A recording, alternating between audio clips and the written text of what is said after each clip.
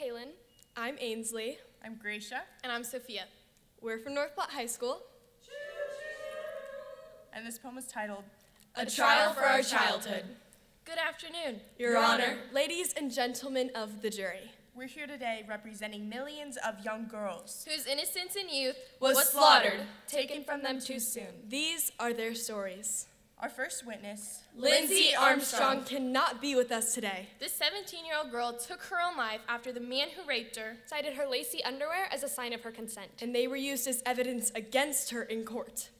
When Jordan, Jordan Gomes Gomes. was nine years old, she survived the mass shooting at Sandy Hook Elementary School. she was forced to grow up. Carrying the death of 26 of her classmates. Our next witness, Malala Yousafzai was shot on her school bus. At the age of 15, for standing up for girls' education in Pakistan. These crimes against girls happen everywhere. We are witnesses too. 15 year old me had to realize that having opinions different from my father's would make me an outsider in my own family. I've had to learn to dodge being hit on and catcalled. Why did I have to avoid eye contact with the old men in the grocery store? Why didn't they have to keep themselves under control? Being a blonde teenage girl means I've been called dumb by almost every person I've had an encounter with. This year, my biology teacher told me that since I have blonde hair, I might find it hard to pass her class. As if being feminine makes us less capable. When I was 16, someone tried to comfort me after I told them my sexual abuse story by insisting that boys will be boys, but eventually they turn into men, We're here today to bear witness to all crimes committed against young women. both big and small. This, is justice for every girl, who was stolen from something she had.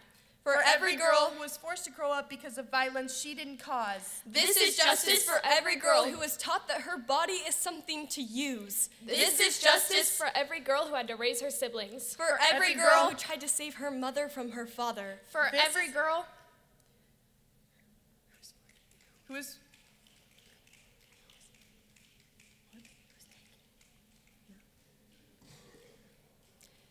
This is justice for us, for the things you've taken away.